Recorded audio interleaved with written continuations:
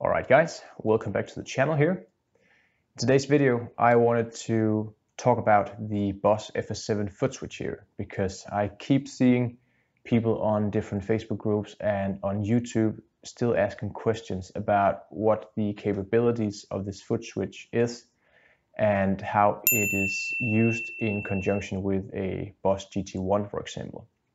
So I'm just going to take you through the basic overview of what this foot switch can do. If we take a look at the foot switch uh, from the, the front here, you can see that this FS7 is a dual foot switch. So you have an A foot switch and a B foot switch. And each of the foot switch has their own dedicated LED light here. And this means that you can actually use this for example, with the Boss GT1, where you can connect it and you can use this particular foot switch to control parameters or assigns, um, activate, turn on or off effects, um, basically allowing you to have much more freedom in creating your patches. If we take a look on the, the back side here, you'll be able to see that we have a 9 volt power DC in here and the only thing that the power is controlling is the status light of the LEDs. This foot switch will work as a bypass, so it will be able to process the commands without any power. You can see here that we have um, the A and the B inputs here, but underneath the, the B input, you'll see that it also says A and B. And all of this corresponds to the way that you set this up and the different cables that you can use in order to set this up.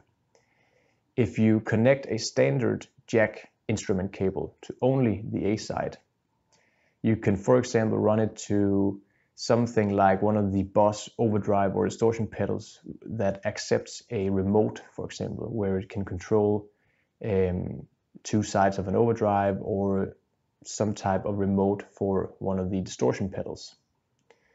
You can do the same for the B side. So if you decide to use both A and B here with just two regular jack cables, you can actually send A, as mentioned, to an overdrive distortion pedal, and you can send the B output to your looper, for example, and have that start and stop uh, the looper. But as you also see that underneath the B socket here, it says A and B. And this means that if you connect a TRS stereo jack to this input here. You only need that particular cable and you can connect that to the GT1 for example and its input on the rear. And this will allow you to use both the A and B side of the foot switch here.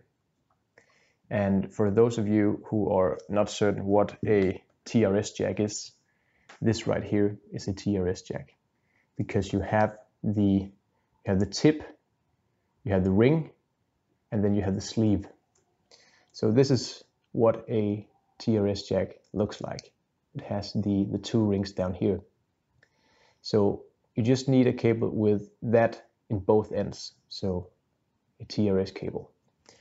And the other way that you can operate this is that you can actually use what is called a Y cable, which is a cable with three plugs on it. At one end, at the, the Y end, so to speak, you have two regular um, jack instrument cables. And on the third end, you have a um, TRS jack, just as shown. So the two regular cables will go in here, and the TRS at the end of the cable is actually summing these two so that you can connect it to a looper or a multi-effects unit, for example. I see a lot of questions being asked about if other foot switches from other manufacturers out there are compatible with use for the GT1 or the GT100, for example. And the short answer is that most of them are, but they might be set up or manufactured differently. And uh, you can get other foot switches to work, but there might be some limitations.